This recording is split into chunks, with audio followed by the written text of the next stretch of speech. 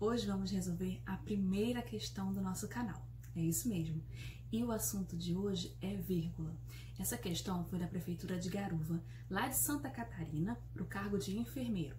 É uma questão do concurso de 2020. Vamos ver a questão na tela.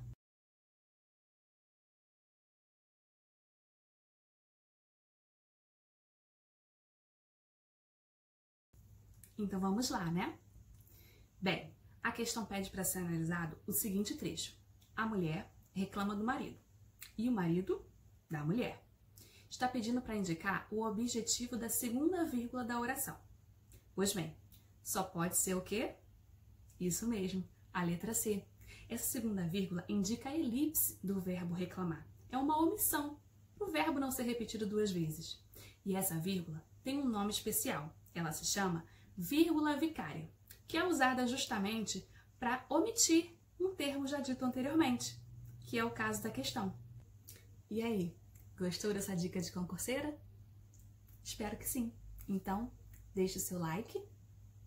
Se não se inscreveu no canal, se inscreva, compartilhe e ative o sininho para não perder nenhuma questão comentada. Até a próxima!